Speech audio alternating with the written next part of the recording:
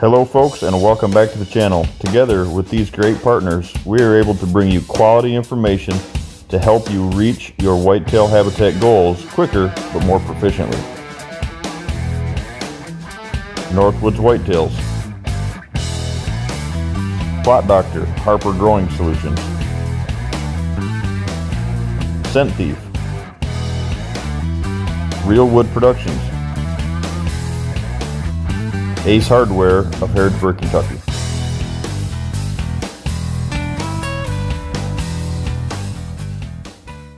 Hey guys, welcome to the farm. Between raindrops here today, the good Lord has blessed a lot of the country over the last couple of days with uh, some really good showers. And to those of you that are not getting it, uh, sure still saying a prayer for you.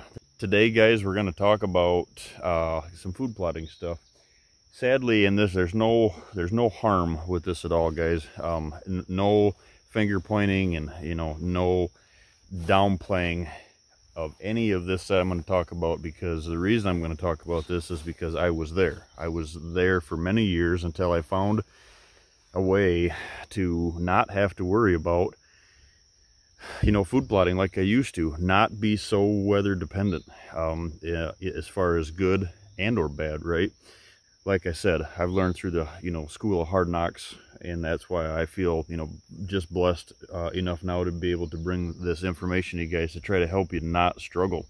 Um, so the last several year, got years, guys, if you've been following the channel, you're, you could, you can uh, kind of follow along and tell that this has been one of my goals, right, is to, is to find a food plot system that works for most folks across the country, my clientele, you know, not just a not just a you know one hat covers everybody approach and and really dig deep into uh, what we're doing good and what we're doing bad.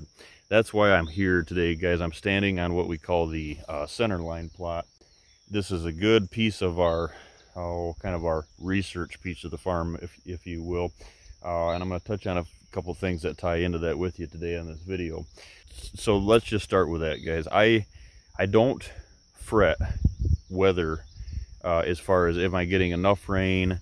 Of course, rain is great, right? But after I plant my uh, my summer food plots, the whitetail driven summer, whether you're north or south, I don't fret the rain after I plant that. Nowhere near like I used to uh, planting only fall plots or even when I started tapping into the summer and the fall stuff. After I plant it, the morning dews if we do get a rain, that's great. I don't fret from there on. And I know that's hard for folks to believe. The truth is this. Um, this time of the year, I start relating this to the uh, the lull, right? The whitetail lull, the October lull that you hear of during the season. Is because what I see is I see folks, you know, trying to I don't want to say belly aching, but trying to, you know, wait for a perfect time to plant a food plot, disking it all up, exposing the ground, having to wait till the ground is, the weather is right to get on it, right? Uh, it's too wet. I can't get on my ground to disc. Hey, now it's dry. Now I can get on and disc. Now, oh man, if it, I need rain because my food plots are going to dry out and uh, well, we're not getting rain. Am I going to have to reseed my plots? And then oh man here comes the rain. And now now I've got erosion. Now my food plots I got too much rain. And oh man that was me. That was me to a T for many many years. And I it, it's hard for me to watch stuff like that and not try to help or not try to say something because like I said guys there's better there's a better way there's a better choice out there. And what that is guys is get rid of that do get rid of that disc. Do go to the no-till system but have a system where it's not just you know plant buckwheat in June and then let that buckwheat uh, hope and pray that the buckwheat grows and then cover that over your your fall uh, blends when you put that you know as far as crimp that down and roll that over your fall blends. That works guys. That does work. I've told you before and I won't steer from that is buckwheat is a great cover crop for your fall uh, food plots. Problem with it is buckwheat is very high in moisture, right? hence the reason it rots, hence the reason it when you have the right conditions per the year in a right region, hence the reason that it really aids in your fall food plot program. Problem with it does, guys, is it doesn't benefit the soil near as much as folks think it does uh, because it there's it's just it runs out. Let's say when the buckwheat advantage runs out, right, of the rot. What else is there? There's no clovers. You're not promoting any clovers because you've sprayed it. There's no nitrogen building going on. There's nothing. So what I found is I found a way to able to have that theory, but be building my soils during the season, during the summer, and also have successful food plots because the ground is always covered. So I don't experience that anymore that, hey, I can't get on the ground because this is a perfect example. That's why I'm out here today dodging raindrops here with you guys. Perfect example. I had to be creative on how to get up the road to get back here because we've got a, quite a bit of rain the last couple of days. Now my road is washed out. Tire tracks are, you know, a little slippery. But when I get to my fields, there's no erosion. Everything's green everything's starting to surface through. There's no erosion anywhere on the farm. I look across the road and the other day I was on the on the uh, way to town and you know the big agricultural fields were just bone dry and then we got some rain and now they're washed right there's big puddles out in their fields and I'm going to show you this guys I'm going to show you why I'm standing here or talk to you about why I'm standing here this is a perfect like I said we call this the center line plot it's actually an acre and the, the road runs right through the center of it. So I'm able to kind of split each side of the plots to do some stuff during the year to do some of my testing. So I'm going to show you this guys. This side looks, you can tell, actually I have a little, a couple spots in here where you can tell my sprayer or something goofed up with my sprayer. Um, so we've got some strip stuff going on in here, which is no big deal because some of this, uh, you know, maybe I didn't have to spray anyway. Uh, the, the goal is not to use herbicide right if we don't have to. Um, but I did on this plot because you can see there is wherever that the, the uh, herbicide didn't hit, there was some grasses and I've still got some brush that I'm trying to get rid of and stuff like that, right? So I did like to spray this, both sides of this. What I did on this side, guys, is I'm going to show you, I'm going to take you through here. I, I planted this in and I broadcasted in I put all, and I, then I crimped that product down, last year's product, all the rye and the grass and the weeds and everything from last year, I crimped that down on it. Then I sprayed a, a, a cover of glyphosate, two quarts per acre glyphosate on top of that. Three, four days later, five days later, no rain, seven days later, no rain. I come out here like five, day five, I have pictures here, guys, pulled the, pulled that thatch layer back. Now, I hadn't had a drop of rain and it was moist under that under that uh, thatch layer. Dug through and found a couple of the beans and and uh, uh, found some of the peas and they were germinated. Five days no rain under that thatch layer germinating. No rain other than I had high you know good dew morning dews. So that's a testament right there right? I was just checking on it just to see right? But I wasn't worried about that so we get these rains, guys, and these plots have exploded the last couple of days here. Warm weather, rain, uh, you know, maybe a day gap, some 80, 90 degree weather, more rain, and it's just perfect growing conditions. Looks like more rain coming in, in the forecast. So put that in there, guys. So I got past that hurdle, right? I, I, I, I got to growing some stuff where a lot of folks around the country, I've got clients in Illinois and and uh, Wisconsin right now that have sowed stuff in and it's not growing because it's this. It's not, not a no-till system. There's no thatch on the ground. There's nothing growing. Problem is, guys, if that sits in there too long and it doesn't start to, to have that moisture, it's going to rot in the ground. And then when you do get the rain, if it doesn't all wash off and erode, right, what's going to happen is it's not going to grow because it didn't germinate quick enough. So mine was germinating five days in, no rain. So what I elected to do, guys, this year on this uh, plot here, this is a perfect example. You can see it's pretty woolly. You know, some of the stuff stood up on a turn. You're going to put you down ground level so you can see. Uh, you know, there's some grass. Like I said, you can tell where the the the uh, the strip right here where the I didn't that either I didn't hit it or something happened there, or the the uh, sprayer wasn't going or whatever. Uh, but you can see right here, guys, some of this is you know standing back up, but you can also look down here and see all the clovers popping back up, all my buckwheat, my beans, everything is coming through. So we, we go over here where the where the uh, sprayer didn't hit. Yeah, I've got some grasses and I've got some weeds, undesirables growing in here. But you look down and below it, and I've got still, I've got all of my beans.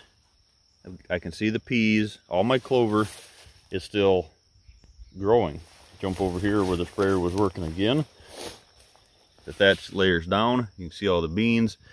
Uh, you can see the sorghum even. I can see some sor sorghum even going. All my, all of my, uh, perfect example, guys. This is what I'm dealing with out here in my plot. Rock, right? So, a little manure out here in the field. Everywhere you look, everything is alive in the ground. Nothing is not growing. You can just see the buckwheat and, and all that stuff, that green tint there, guys, okay? So this side of the farm, or this side of the plot, that we're on right now. What I did is I crimped it and I did not mow it or anything. I just crimped it like I normally do. And then I sprayed it with glyphosate, right? So what that glyphosate does, it just helps that that product, you know, it kills some of the undesirables and the weeds or whatever that you're still trying to set back. You can see there, got some little red bud or something growing in here, right?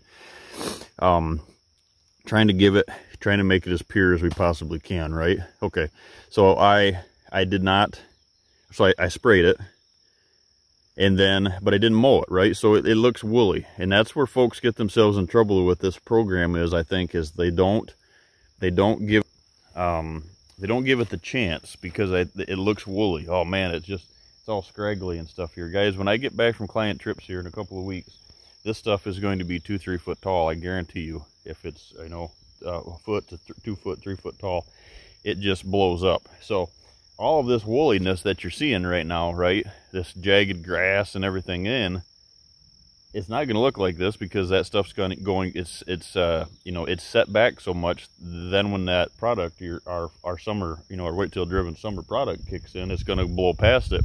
You're not going to see any of this right? So and you pull this back guys this is the this is the thickness of my of my thatch layer over the last couple of years. I mean the dirt's right there. You can see good. You can even feel it. I mean i put my hand down there. That ground is cool uh, and you know i always try to cover this back up. But i mean this thatch layer this is this year's thatch layer right? This probably this much of it's this year's.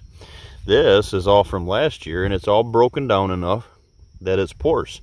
The ground is porous right? So we don't need to be adding one of the things i want to talk about today guys is we don't need to be adding any there's a product out there that you know cuts thatch away and and you want to try to get rid of all your thatch that's not what you want in this system. Your thatch if your calcium uh, and this is a topic that I had with uh, Brad Harper with Harper Growing Solutions here um, your uh, calcium and and all your nitrogen and stuff is correct in these plots. When we get it there right and my soil samples are excellent but when we get it perfect, that'll start eating, the ground starts eating and decaying that alone or by itself. And you don't want to come in here and spray. They do make products out there that you come in here and spray and it eats all this thatch away, right? Get rid of your thatch. That's not what you want on this because if you eat too much of that thatch away, you are getting rid of your cover. So I'm often asked, is there too much ground cover um, is there too much ground cover with the thatch over the couple of years to try to get that seed to soil contact when you put that in there.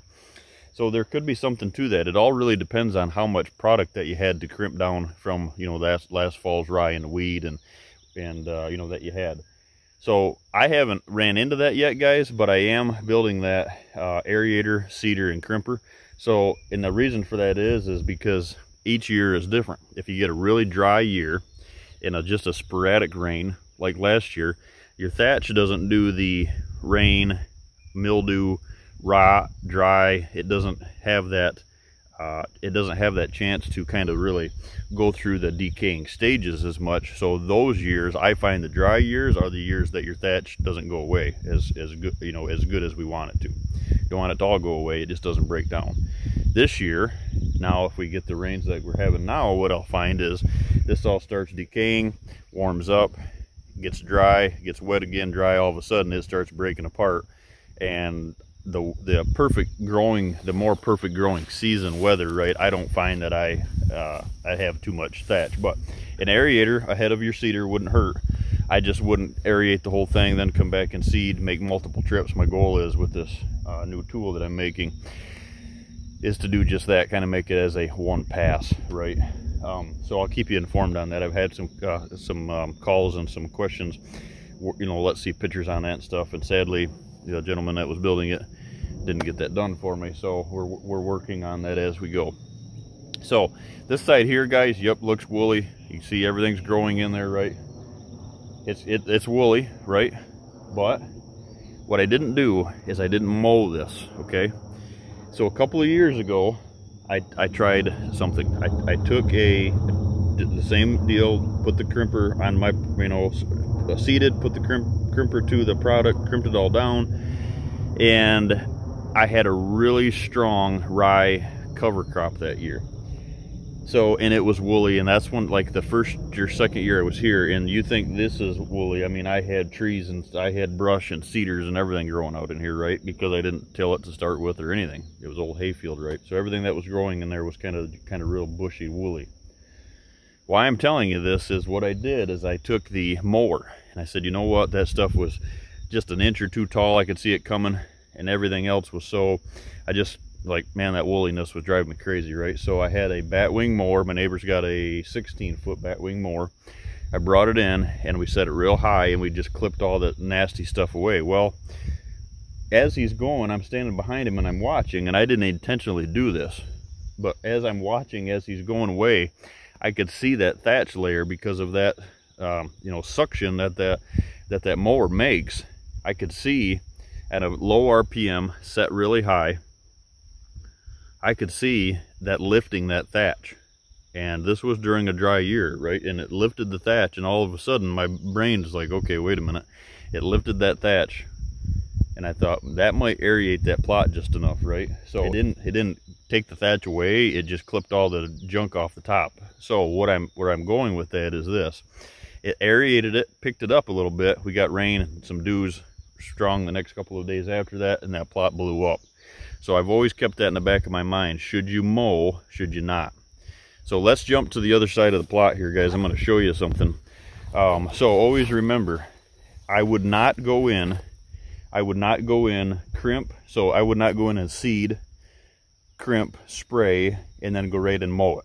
I would give it about a week so you make sure all that product lays down so you're not just mowing a bunch of the let's say you get into a spot where it's not the perfect dough stage right and all that stuff starts standing back up again you don't want to mow it. You want it you want to after you spray it and you kill it with a crimper just give it about a week so it lays down. And your your you know your new seed and stuff is only going to be a couple inches tall. You're not going to hit that because you're going to mow at six eight inches tall if you want to. That's where this side of the plot comes in guys. I'm going to show you a couple things here. Now you can see on this side of the plot switch you around so I'm on the right side here with you. You can see on this side of the plot, it looks more manicured. And a reason, so woolly over there, kind of manicured on this side. You can see the mowing strips. So I took that batwing mower the other day when I mowed my uh, switchgrass, right? And I had that over here. And I said, you know what, I'm going to do a test this year. So this is a week, 10 days after I've seeded uh, into this, 10 or 12 days after I've seeded the uh, you know this I'll show you this. You can see it behind me. All the buckwheat and the beans and the clover and everything coming up through the thatch looks really good. And it was you know a lot of it was laid down but it looked just like that. So I ran the mower over it. Slow RPM 540 RPM very high about eight inches high six eight inches high. And I just went over the whole thing. You can see guys is this thatch layer I'm going to turn you around here. We're gonna go for a walk I'm going to sh show you guys. Look at all of the clover and the buckwheat. And you can just see this green tint to it, right? there's a little strip right there that the sprayer wasn't doing what it was supposed to be doing right, but it it's it's more manicured here, right? It, there's no tall bush standing up. But what I'm going to show you here is this.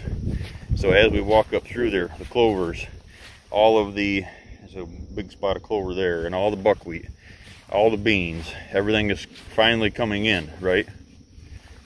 But let's let's go down here. That thatch layer is still here. I did not get rid of the thatch layer by mowing. So I'm going to test this this year and I'm going to bring this to you guys because yes, it's another trip around it, but if you if you can't be, you know, patient and you and you don't want that wooliness, is there a benefit to actually mowing it? Now, I can honestly tell you this side, it looks like it is a little more more air, air, uh, maybe more aerated because of the mower. Um, that just just could be, you know, the product that actually got crimped down was heavier in this spot. I don't see any major differences there. I just see that it looks, if you're down here, it just looks a lot cleaner. So, so why is that a big deal, right? Why is that such a big deal and why am I bringing that to you?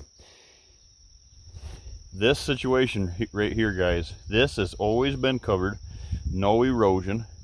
When I wanted to get out here and do something on the plot, plot work, mowing, seeding, whatever I spraying, whatever I wanted to do, I was able to do it because the ground's covered and every bit of this rain that I've got, guys, is, is right here. All this organic matter has got this covered and is breaking down and nothing gets eroded. There's no anywhere through here, no erosion. All of the rain that I'm getting, I'm keeping, right? If thatch layer on the ground, keeping all your water, not disking, not tilling, that gets us to this point. I think you're gonna be blown away with what my soil samples say about my food plots. It's it's hard it's hard to it's even hard for me to, to put a video like this out with them soil samples is because I know I'm gonna get a bunch of negative Nancy's out there, right, saying that that can't be true and you didn't take your soil samples right, yada, yada, yada. Well, guys, I'm here to tell you, I've taken my soil samples for many, many years. I've taken them the same way, and when I sent those soil, soil samples in this year uh, to Brad Harper at, you know, Plot Doctor, Harper Growing Solutions, they sent those into A&L, or I sent those straight directly to uh, A&L in, in uh, uh, Indiana.